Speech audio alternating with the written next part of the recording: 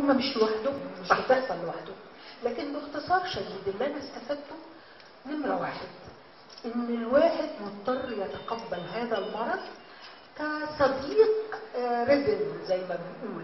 مضطر أحتمله ومضطر أرضيه. يعني مضطر أنفذ كلامه مضطر آه، آه، يعني آه، أقوم بما يمكن أن يحميني منه. دي نمرة واحد. نمرة اثنين أن كل يوم هو يوم جديد. لو ربنا الحمد لله النهارده احساسي جيد وصحتي جيدة إذا الرضا لمن يرضى. ولو بعد الشر سيء على أي حد يبقى أنا برضو هحتمل.